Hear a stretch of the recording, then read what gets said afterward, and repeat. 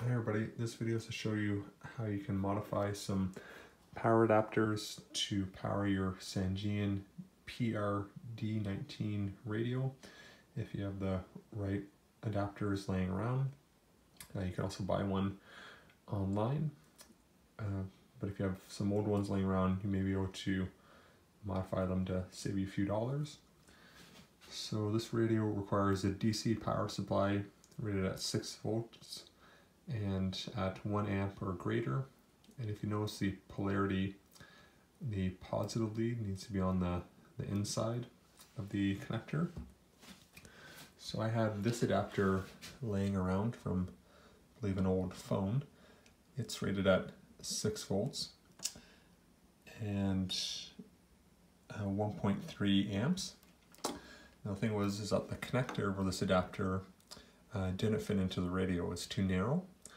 Uh, I had several power supplies whose connectors would fit, uh, but they were rated uh, at uh, a voltage other than 6 volts, typically higher.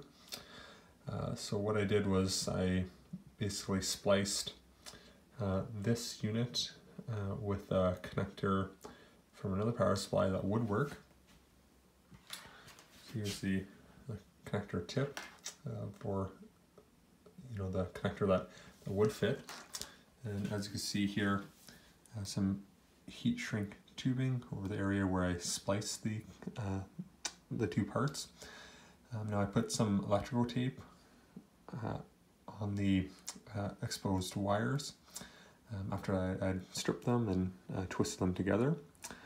the electrical tape was important because initially I did not do this and then bits of the wire were poking out of the heat shrink tubing so I had to remove it and and redo it.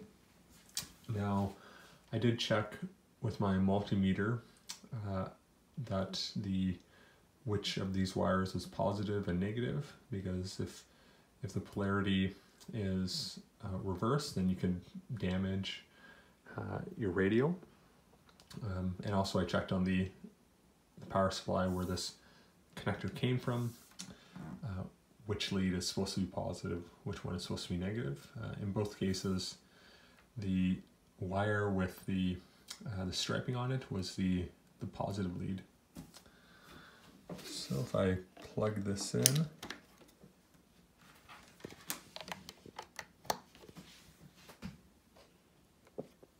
through all the years with Renee, who gave me so much, who taught me so much. It works great. So hope this is helpful and thanks for watching.